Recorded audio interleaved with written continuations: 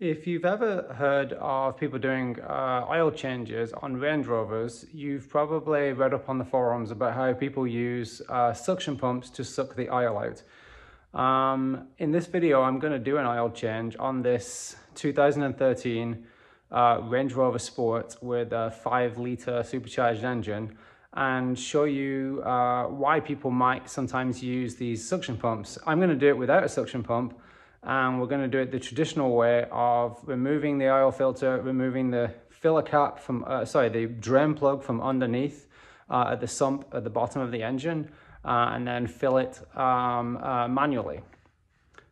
The first thing we're going to take a look at um, is the difficulty of actually getting underneath the car and um, getting to the point where you can remove that drain plug.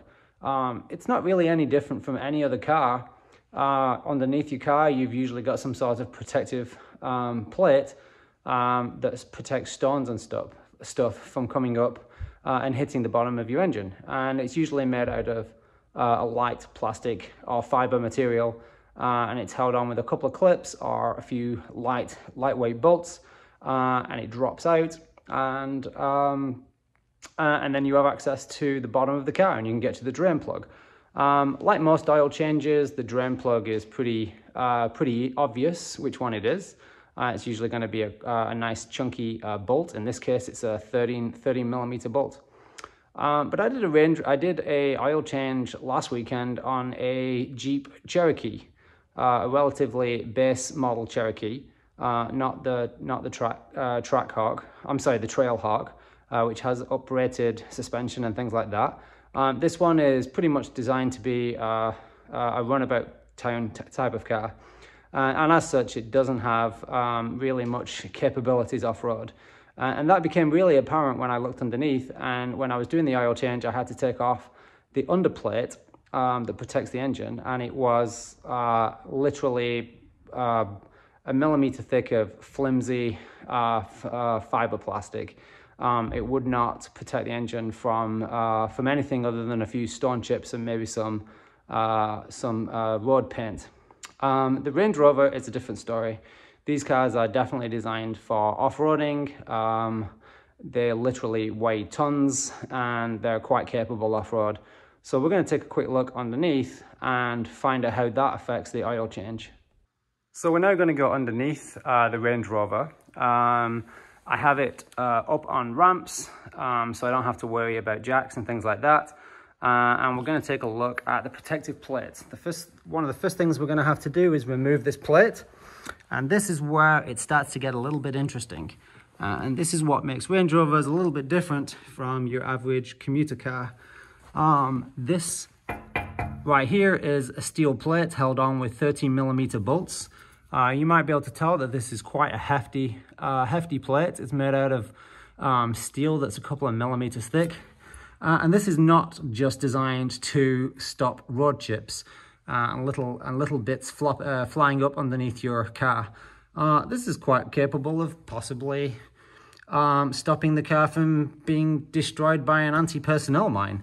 Um, this thing is quite hefty. And of course, the, the difficulty is going to be um, taking it off and putting it back on again uh, with just one person.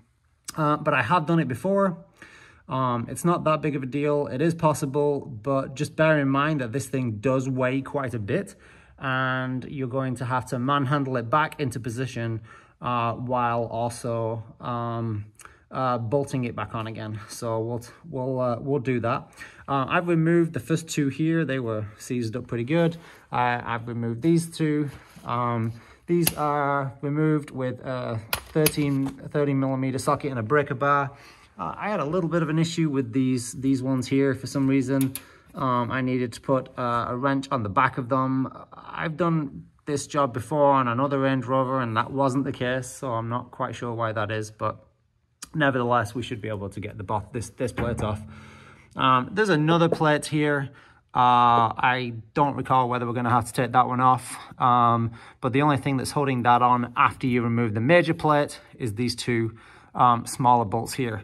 But notice that this larger plate goes on top of, well, I guess uh, underneath this plate. So this, this plate will be the, the last to come off and the first to go on if, in, if it turns out that I need to remove it, but I might not. Um, the oil filter is going to be on the top of the car.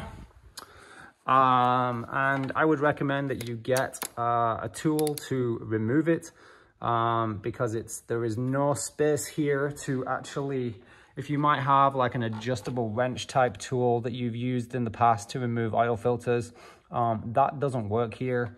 Um, you can see that on all sides, there is nowhere to swing um, a wrench type tool. So you really do need one of these um, adapters. Um, you can get one of these from Atlantic British. Um, I highly recommend their website.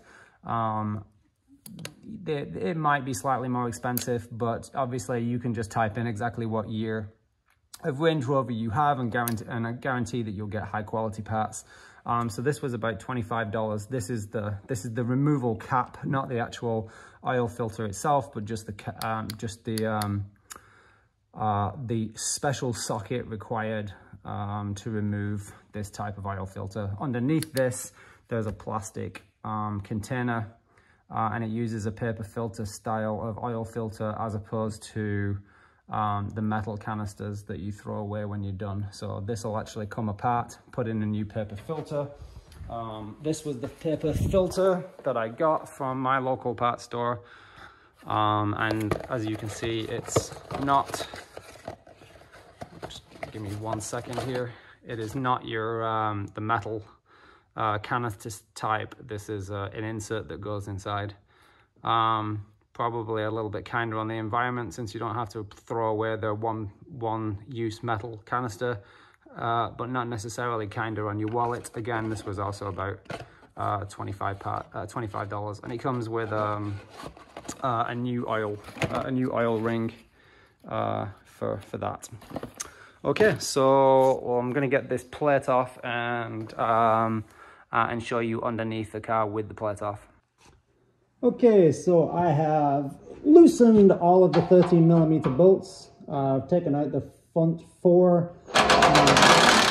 about to drop this plate out.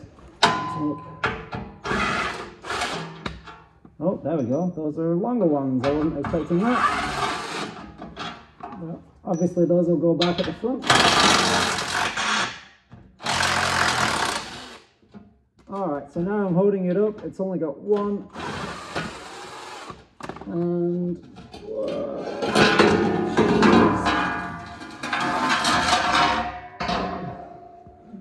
Crikey, that was a quite the job. All right, let's see what we got under here.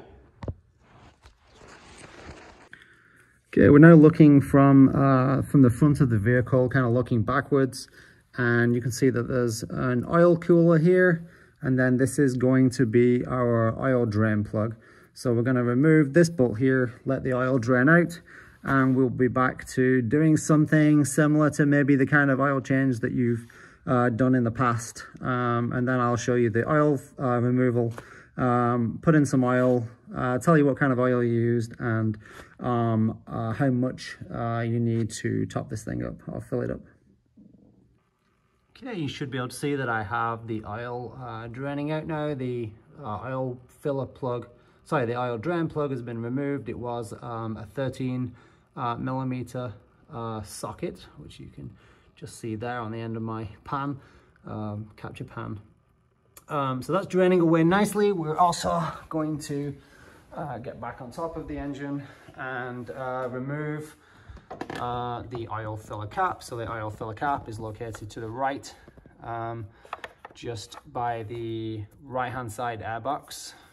Again, this is the uh, five liter supercharged, so it's got air boxes on both sides. And then the last thing we got to do is remove the uh, cap for the oil filter. So we're going to take this thing off.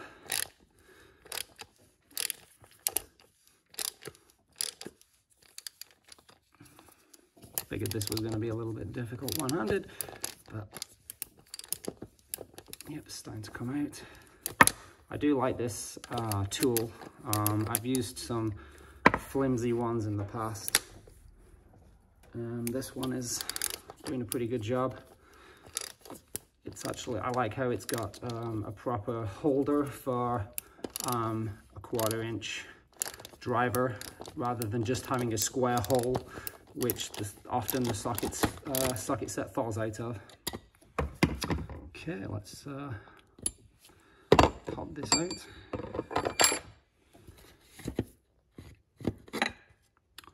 All right, so there's my oil filter coming out. So we'll uh, remove that, take you a little bit of an inspection of it.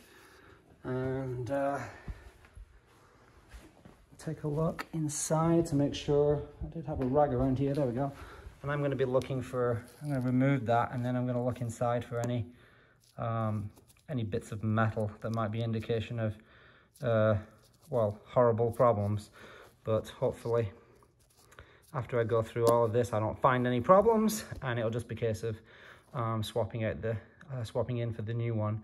Um, I'm also thinking of putting in a magnetic drain plug um, so I can see if there's any uh, metal filings in there. That's a cheap, they, these kind of inspections are a little bit cheaper than um, the alternatives of uh, sending your oil off to um, see what contaminations are in there. Um, obviously that's a much more thorough um, analysis of the oil, but for me, just going through the oil filter and going and, and looking at the uh, and a magnetic drain plug is good enough.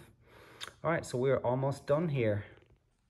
Okay, last last parts of the video. Uh, I have managed to get the oil filter uh, cap back on. It's hand tight. I didn't uh, it um, specifically tight here. And I've still got my uh, oil um, filler plug uh, out and I have uh, a relatively longer um, uh, siphon to put this in and I've decided to go with uh, 0W20 that's the newer recommendation for for oil here. Uh, I'm not going to go into the debate of why you would want to use the lighter oil um, but I'm gonna I'm gonna use the lighter the lighter weight of oil. Uh, the capacity for this is eight and a half um, quarts. So just before I do this I'm going to uh, take a quick peek inside the oil filler cap uh, and take a look at the chain and press against the chain with like a screwdriver um, to see if the chain seems to be uh, nice and tight. And let me see, got, got one right here. So I should have prepared for this bit, but this is gonna be the last thing. And then I'm just gonna put eight and a half, eight and a half in there. So yeah, you're not gonna be able to see this, but I'm just pressing against the chain, making sure it's not moving. So yeah, I don't have much play in my chain, so that's good. Yeah.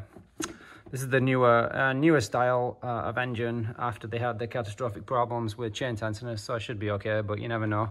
But anyway, yep, that's it. Hopefully this video was helpful, and I'll uh, see you all again soon.